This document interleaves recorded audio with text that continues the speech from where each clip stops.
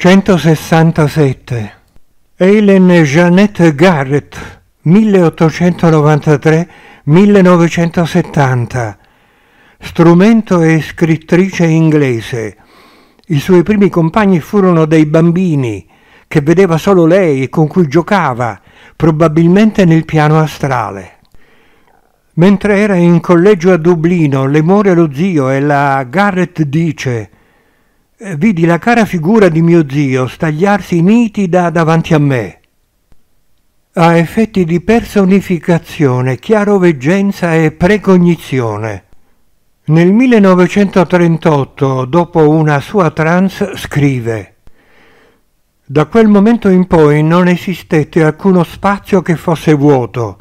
Mi sembrava di sentire il peso e il movimento di una superficie condensata di cui tuttavia non percepivo né il peso né la gravità. Cominciai ben presto a muovermi dentro me stessa. È difficile ciò che intendo.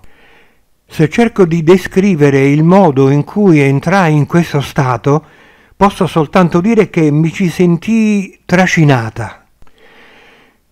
Nonostante questi effetti, la Garrett fu decisamente polemica contro qualsiasi concezione spiritista.